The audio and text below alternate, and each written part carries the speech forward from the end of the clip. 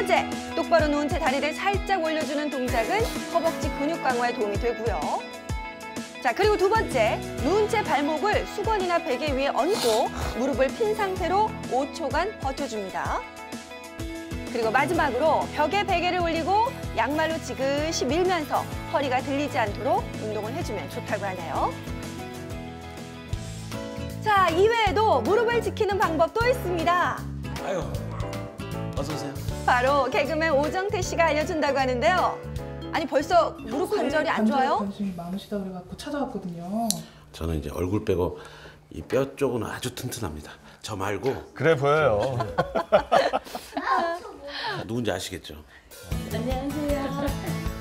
아이고 엄마입니다. 또 나오셨네. 그렇죠. 예. 퇴행성 관절염으로 오랫동안 고생했다는 오정태 씨의 아, 어머니입니다. 근데 지금은 전부 다 많이 호전됐다고 하네요. 한 10년 넘었죠. 12년. 심하게 아픈 병원에 가서 이제 사진도 찍고 약도 먹고 좀 괜찮으면 또 안 가고. 병원에 자주 가진 않았지만 증상이 호전된 데는 또 다른 이유가 있었다고 합니다. 특히 며느리인 배가영 씨가 어머니를 가장 많이 챙겨주고 있던데 배가영 씨 본인도 젊은 나이에 무릎 통증이 있었대요. 그래서 더욱더 신경을 쓰고 있었습니다. 자, 냉장고 속에 든 관절 건강의 비법 뭘까요? 이거입니다.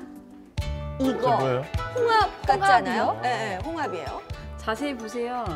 좀 뭔가 다를 텐데.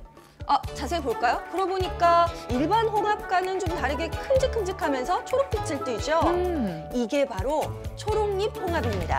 이게 관절 건강의 비법이었는데 불포화 지방산이 풍부해서 관절염 완화와 연골 재생에 도움을 준다고 연구 결과도 나오고 있어요.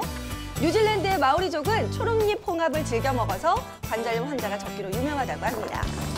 초록잎 홍합, 일반 홍합과 요리법도 크게 다르지 않았는데요. 요거 이제 홍합탕이고요. 그리고 또 부추, 양파를 넣고 양념장을 뿌려서 조물조물 묻혀주면 홍합 무침, 요거 참 맛있죠.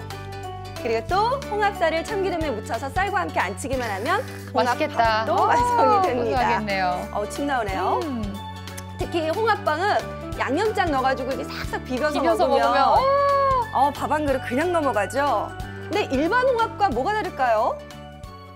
뉴질랜드의 이제 프랑크톤은 강력한 자외선을 받으면서 많은 항염, 항산화 물질을 생성하게 되는데요. 이 프랑크톤을 먹은 초록잎 홍합은 자연히 체내에 항염물질을 축적하기 때문에 관절염의 염증 억제에 일반 홍합보다 도움이 될 수 있습니다.